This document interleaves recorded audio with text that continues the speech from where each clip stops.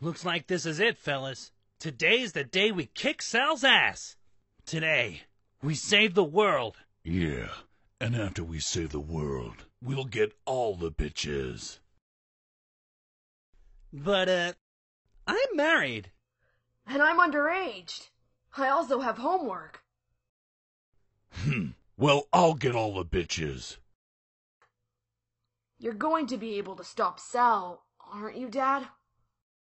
Hell if I know. I won't be sure if I can win or not until I see him fight. But don't worry about that. We should head to Korin's tower and grab some senzu beans before we go to the tournament. Ready? Yeah, let's ass!